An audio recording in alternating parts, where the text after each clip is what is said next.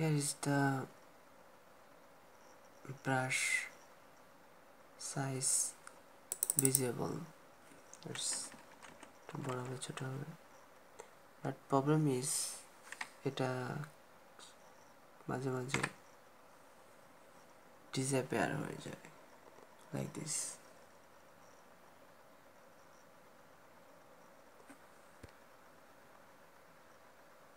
এরকম। Just nothing to do কিছু করার থাকে না what to do just press the this caps lock on here just off it and find it appear good designing